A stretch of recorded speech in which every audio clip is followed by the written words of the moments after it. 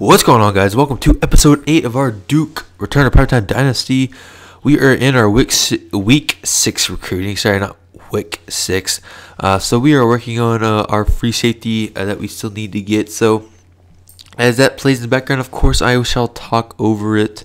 Um, today, I went for an interview at Home Depot and went really, really well.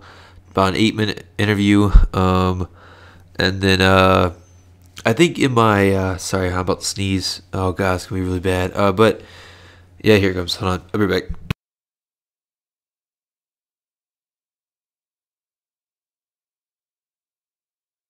Uh, so um, I went for the interview. It went really, really good. But I think in my uh, episode 27 of the NC State, I said that uh, that video was going to go up today, which today is the first.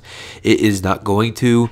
Um, it will probably go up tomorrow because uh, I got home late and I'm kind of lazy right now, and so uh, my internet's kind of crappy right now too. Uh, so, uh, you know, uh, so that should go out tomorrow. If not tomorrow, then Monday, of course. Um, but then this video should go out Tuesday or Wednesday, and then probably the Tennessee video uh, where we played Tennessee will go out uh, Friday. I am not sure. I'll see how it happens. Plus, it just really depends on uh, what uh, Home Depot does.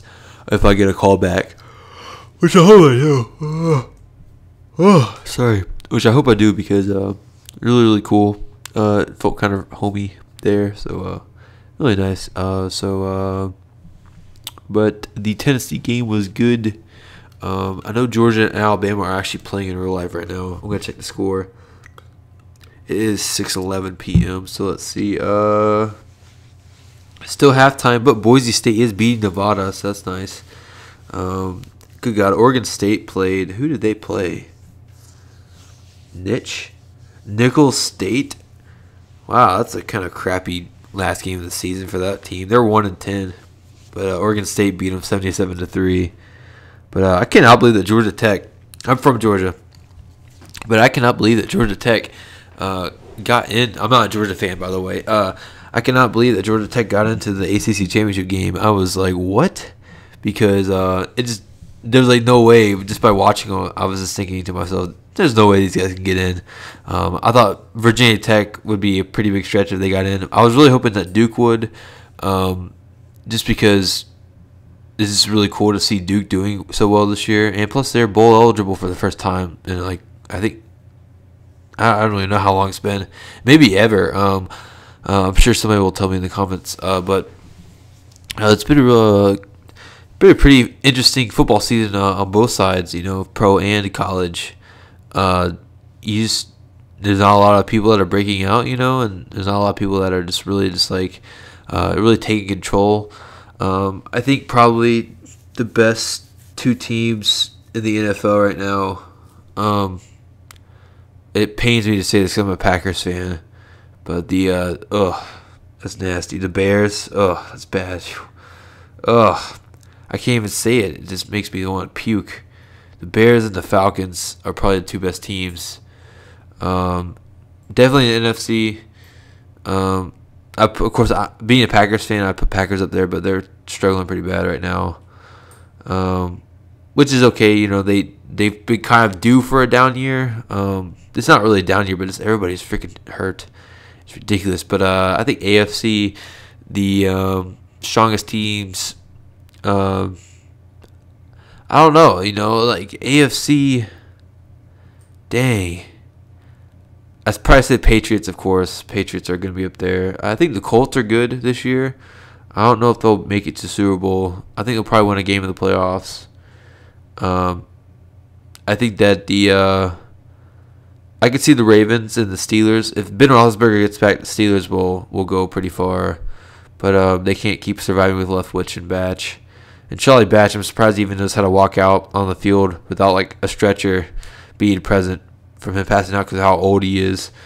Um, and then the kicker for Detroit, oh my goodness, he's like this like oh my, I think that the game, uh, like Thanksgiving game that Detroit played against uh, Houston, that was his 20th Thanksgiving game. So I mean, this guy's like freaking old. He's basically a, the Brett Favre of kickers.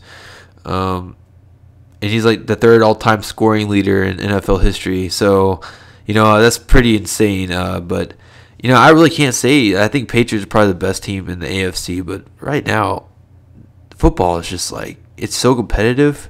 First time it's been like that for a long time. Um, and of course, um, there was some pretty bad stuff that happened at the Chiefs, um, the Chiefs facility today.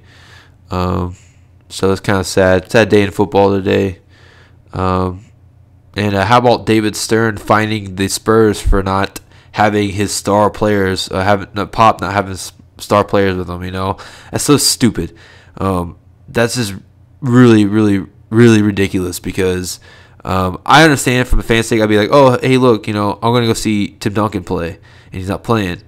Um, but I think any fan would know that they are on the end of like a six game road trip through like two countries and everything like that, and they know those guys probably won't be playing that much anyway. So why would you even buy a ticket to go see like a specific player play if they were like that right there? I lose Xbox Live connection. Um, you know, but the final two hundred fifty thousand dollars uh, to find the organization that much money is just ridiculous, you know.